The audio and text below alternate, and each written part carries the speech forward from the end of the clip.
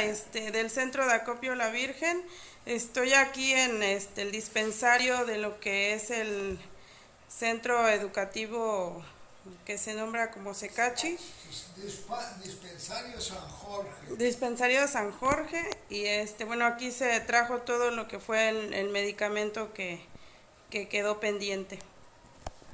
Pues agradecemos mucho dispensario al centro de copio de la Virgen de la Ciudad de México que nos hayan apoyo con estos medicamentos que María B nos, ha traído. Ahí está la hermana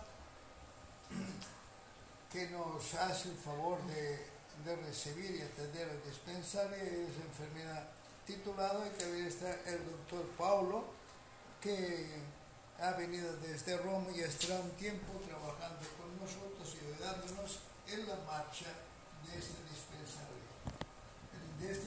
Este dispensario se atiende todos los niños de este centro, es un centro educativo cultural de niños indígenas de toda la zona y, este, y además acuden a este dispensario personas de muchos pueblos distintos, de San Miguel Catepec, de Plaza Vista Hermosa, de San Juan Carrizo, de Río Manso, de Toro Grande, de San Jacobo, que está aquí relativamente cerca, y de Río Chiquito, de Montenegro, incluso desde Playa Vicente vienen personas y de Tomate, en Veracruz, vienen personas.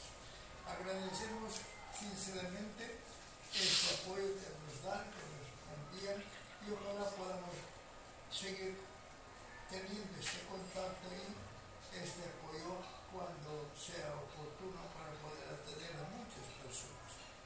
Este dispensario atiende este, un promedio elevado de personas indígenas y campesinas de la etnias chinanteca, zapoteca y mije y mestizos. Ojalá pues que Dios les, les llene de sus y nos haga crecer este servicio de caridad y,